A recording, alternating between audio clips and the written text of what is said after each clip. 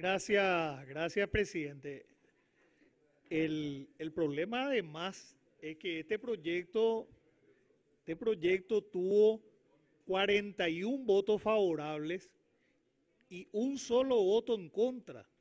Y el resto fueron abstenciones. Cuando algunos reclamamos que haya más debate, que se discuta más en comisión, nos estamos refiriendo a ese tipo de, a, este tipo de situaciones.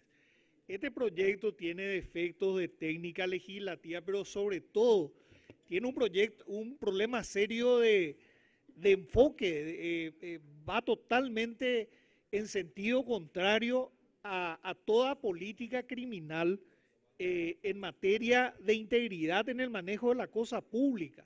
Las leyes están para disuadir justamente. ¿Y cómo, a quién, a quién le puede disuadir cometer actos de corrupción si en la ley estamos diciendo que si se devuelve el dinero, el dinero robado, se le va a beneficiar a esa persona con un 50% menos de la pena.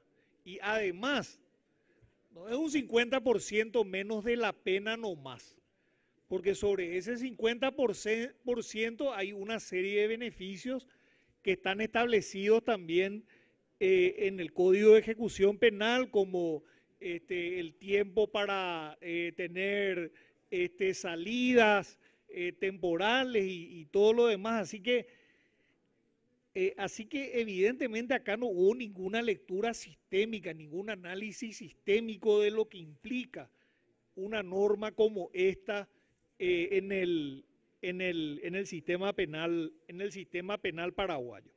Básicamente, en vez de disuadir el mensaje que estamos mandando eh, a, la función pública, porque fundamentalmente esto está destinado al funcionario público, es roben mucho para que puedan devolver la mitad de lo que se les pille. Eso básicamente es lo que les estamos diciendo a aquellos funcionarios que no se manejan con integridad, que se manejan con dolo para defraudar al Estado. Roben mucho para que puedan devolver y eventualmente también pagar sobornos, pagar abogados y todo lo demás, y capaz que inclusive este, terminen sin pena alguna. Eh, finalmente, presidente, eh, ya, ya se refirieron los colegas, acá hay un problema serio, el problema constitucional más serio que yo veo es el, el derecho de la igualdad, derecho de la igualdad. Todo ciudadano tiene que estar con independencia de su posición económica, eh, sometido a la misma norma. No aquel que puede devolver se, queda con, se queda con una pena baja y el que no puede devolver con, una pena alta. esto es finalmente para este, beneficiar este, a los ladrones más talentosos. Y eso no puede ser.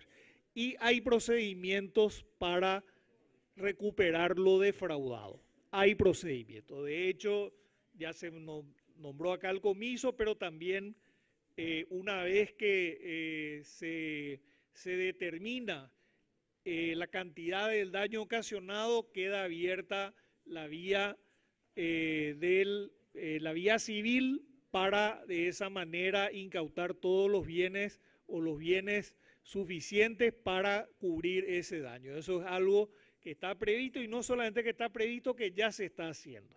Ya se está haciendo y ya se, ya se han recuperado este, fondos, fondos que han sido defraudados. Así que esta norma este, no solamente no tiene justificación, no solamente es violatoria de principios constitucionales, eh, va en contrasentido con lo que, con lo que se busca, eh, con la intención de, este, de mejorar los índices, los índices de integridad en la función pública, combatir la la corrupción, pero también sería un retroceso en un proceso que ya se ha iniciado este, para, no solamente para castigar las conductas ilícitas en la administración pública, sino además para recuperar aquello que fue eh, defraudado. Muchas gracias, presidente y colegas.